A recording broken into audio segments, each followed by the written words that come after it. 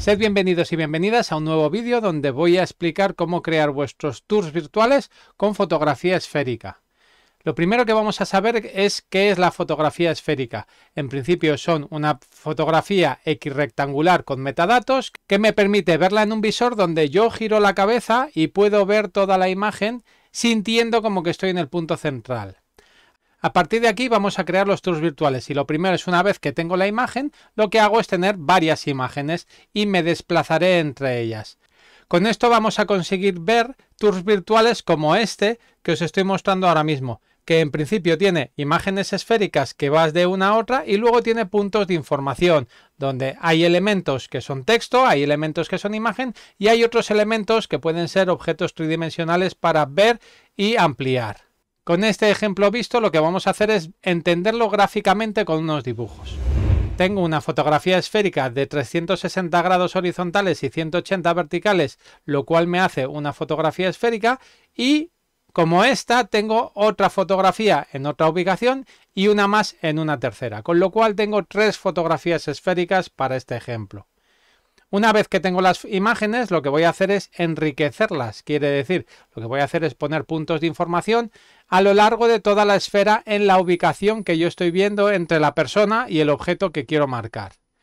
Y luego, aparte, hago unos puntos de desplazamiento, que son estos puntos rojos que estoy marcando en la figura, que en principio me harán la comunicación de poder desplazarme de una foto a otra sabiendo la ubicación que tienen.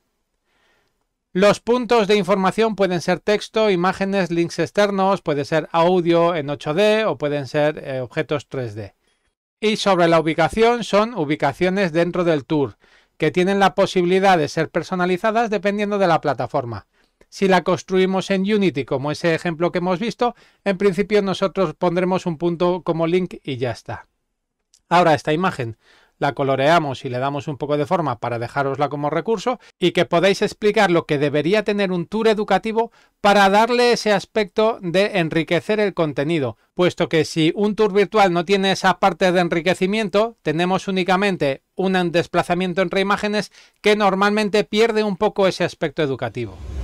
Una vez que tengamos este tour, dependerá un poco de la plataforma y del visor que tengamos para poder visualizarlo.